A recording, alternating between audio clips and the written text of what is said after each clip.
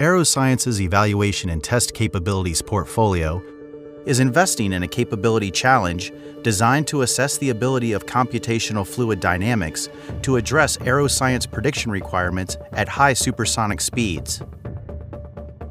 To do this, a series of wind tunnel tests and identical CFD analysis will be conducted and compared to determine the accuracy of CFD relative to wind tunnel testing. The information gained from this challenge can be used to optimize future testing and lead to a more efficient utilization of our capabilities. One comparison was the control surface effectiveness for a hypersonic entry descent vehicle for landing humans on Mars, the mid-lift to drag ratio Cobra MRV. This vehicle has two body flaps for aerodynamic control during descent through the Martian atmosphere.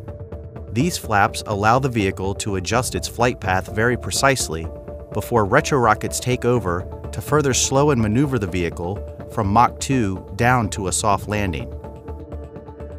We are particularly interested in how well CFD predicts the measured forces and moments generated by different flap deflections, including the hinge moments. And for this comparison, CFD produced good qualitative predictions. Of course, the uncertainties in both the experimental data and the CFD results need to be evaluated before we can draw firm conclusions about the accuracy of the simulations. The CFD predictions have, so far, been very close to the wind tunnel data and have helped to understand the aerodynamic behavior we measured in better detail, even tracking down some inconsistencies in the experimental data.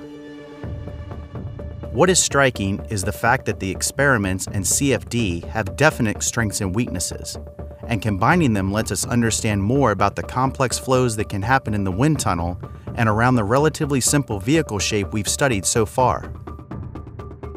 We're looking forward to studying several more complicated flows in the near future.